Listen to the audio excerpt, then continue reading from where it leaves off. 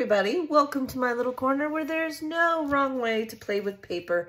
And in this video, we're going to talk about fill a corner swap on the Facebook group Love RTS. It is a special swap. So what you're gonna do is we're gonna create an embellishment to fill a corner. Now, I am going to show you many examples at the end because um, Linda, who had the idea for this awesome swap, sent me a lot of examples. So at the end, when I show close-ups, I'm also show, going to show her examples to give you some ideas to get the juices flowing. Now, the only way you can be a part of this swap is to join the Facebook group. So the links for that are in the description and we'll just go from there because I cannot do it in more than one place. It's, it's a lot of organizing, so I have to kind of contain it. So I'm going to show you two examples and then I'm going to make one. All right, so this one I used a die set. It's a Tim Holtz set. Um, let's see here. It's this one here. I've shown you this one before. It's 661184. It actually comes with a corner die. So that is one way. I'm going to show you more than a one way because not everyone has dies, right? So it's, I think it turned out really, really cool. Again, I will put, um, I will put close-ups at the end. Now, for this swap, it needs to fit inside of a standard envelope, okay? And you want it to be flat or else the postage is gonna be way too much. So try to keep them flat when you're doing your layers. And just like that, it fits inside. So I just kind of used the actual standard size envelope, business envelope, as my guide for this one. Then I did some stars. I wanted to do other things than flowers because I know that's the easy go-to, right? For myself too. So I took a close to my heart stamp or die set that I had, and then I cut this down. That's why you're seeing all these bits over here. And then I just took a standard Sizzix nesting die, okay? Um, and I just, I went with black and yellow, the scraps that I had, to be honest with you. And so I measured it out. I made myself a little template with just a couple little border strips. And I sat and I measured it out and I snipped and tucked it and glued it in all the right places and just created layers. So that's another way you can do it, okay? Use your scraps. That's what these swaps are for me, and I hope that's what they are for you because we all have extra scraps. And now I'm going to create one with feathers, okay? So all I'm going to do is I'm going to kind of just um, measure it. I want to kind of make it a little bit thinner. A scrap, see? This is a scrap, 100%. It is not going to matter if this is straight. It's not. I just want to make it a little bit thinner. I don't think I need it quite that large. All right, let me get stuff out of the way here. And then I've taken a die set from Spellbinders that I got a while back. You may have seen it in the haul. On a clearance, they had a huge warehouse clearance, and I got these dies. Now, I'm going to take my feathers and I'm just gonna start layering them. It does not matter what color this is because I'm gonna cover it up. So honestly, it does not matter. I do think I'm going to ink the edges of my feathers. So let me get out my black ink and my little finger dauber. You know, it's hiding from me. It's like, no, I don't want to play today.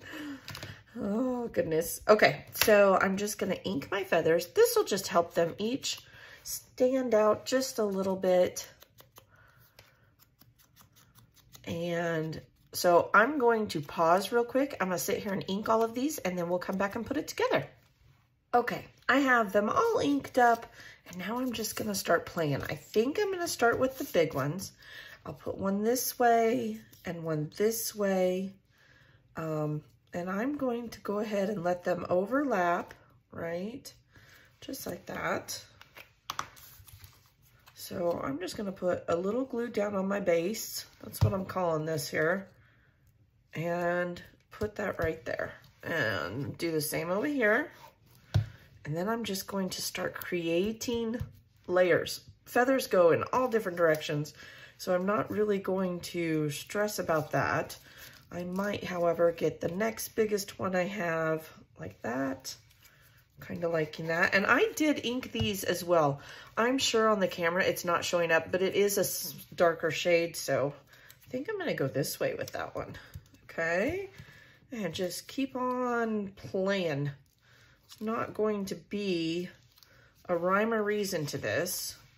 I'm just playing with the feathers. That's all I'm really doing. I don't know how I want it. Can't decide. That's okay. Um, and all I'm to do is cover up this base. That, that's it. Like, I don't really think it's to matter. I just want to showcase the feathers. That's basically all I'm doing, right? So, and I can always, if I feel like I have enough, I can always, um, I put, put it up here. I can always trim this base behind there. Okay, that's why I'm just putting the glue where I want it for now. Um, I can always change it. Here's a different color, so maybe I could tuck this one in that way. Kind of liking that, or should I go with a light brown? I think I'm gonna do this one no wrong way to do this. Like you do whatever you like, to be honest. Okay? Don't worry about if it's wrong or right. There's no such thing. And I'm just, just playing with it. That's all I'm doing here. I think I do want this. I think I'm to stick this up here. Like glue it from the back side. I think that's what I want. Yeah, I like that. Maybe a little higher. Okay, there's that. I'm thinking I might need this as well. Then I've got five tops even. I'm liking that right there. So go like this. There we go. Little something here. That one's the same color.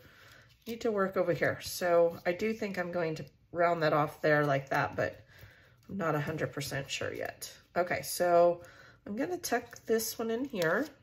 Let me put some glue, just like that. And then I'm thinking I'm going to tuck this right in there to round that off. So some glue here. Kind of going generous with the glue. I don't want it to come undone.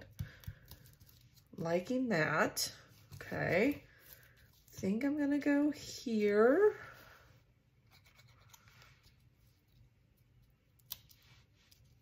Just like that. Okay. And do I want to put another one? Not that one if I did. Let's see here. I've got a few. I might have to trim this up a little. I do think that I may just maybe, do I want to go this way or do I want to go this way? I'm liking that way. Maybe even that way. Oh my goodness. Okay. I can't decide. There's too many choices. Ooh, I do like that there. Okay, so I am going to put a strip of glue here and put this down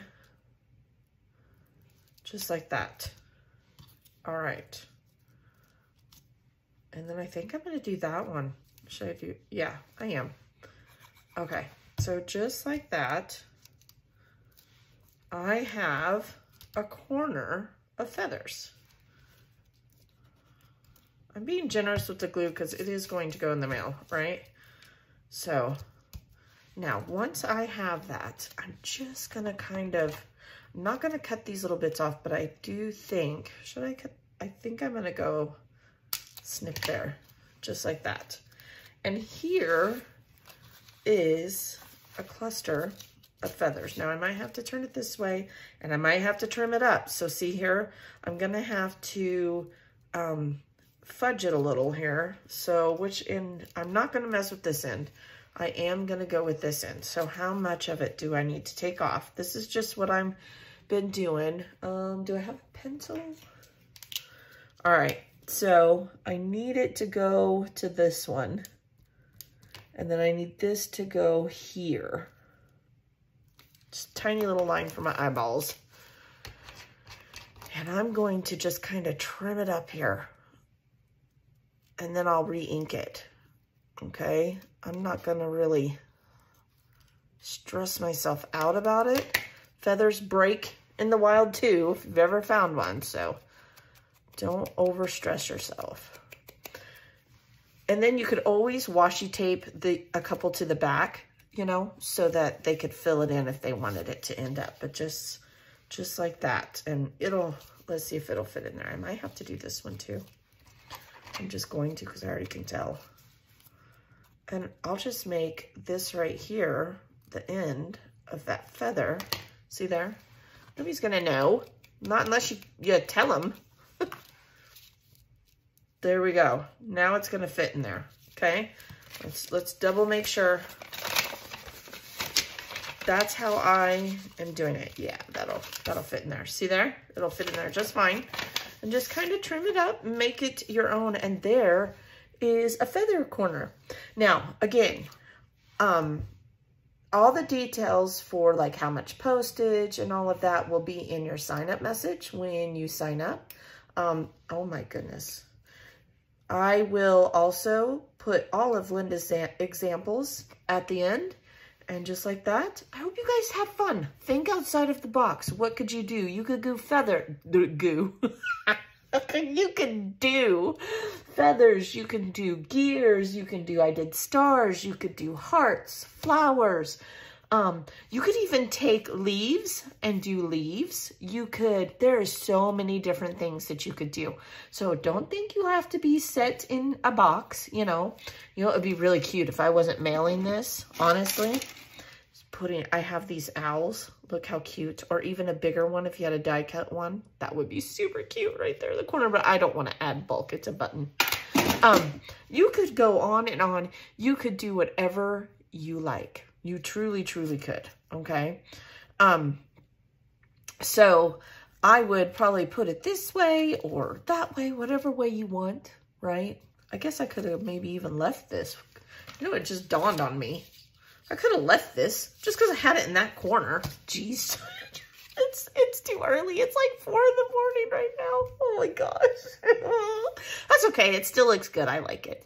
All right. So definitely check all that out. I hope you guys have a very blessed day and I will see you later today after I have had a cup of hot tea and have some more energy with the 31 days of sketches. Bye.